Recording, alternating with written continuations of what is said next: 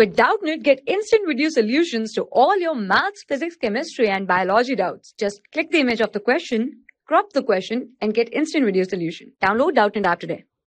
Simplify the following using the identities. The first one is 198 into 198 minus 102 into 102 divided by 96 and the second one is 1.73 into 1.73 minus 0.27 into 0.27 so first of all we write down the first that is 198 into 198 minus 102 into 102 and whole divided by 96 we can also write it as it is a 198 whole square minus 102 whole square upon 96 this is nothing but the form of a square minus b square.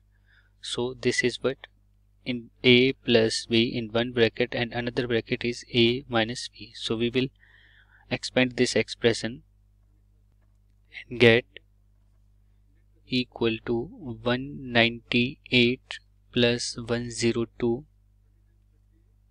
into 198 minus 102 divided by 96 so here it will be 300 and it will be 96 and divide by 96 so this will be cancelled out with this. So the final solution it will be 300 and the second one is 1.73 minus 0. Point, that is the second one is 1.73 into 1.73 minus 0.27 into 0.27 so here we can also write it as a 1.73 whole square minus 0.27 whole square.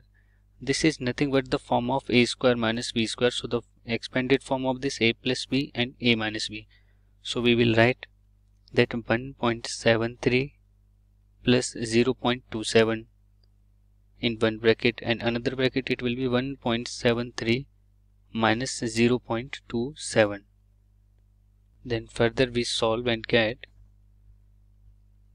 this will be 2 and this will be 1.46 when we multiplied this and get 2.92 thank you for class 6 to 12 IIT JEE and NEET level. Trusted by more than 5 crore students. Download Doubtnut app today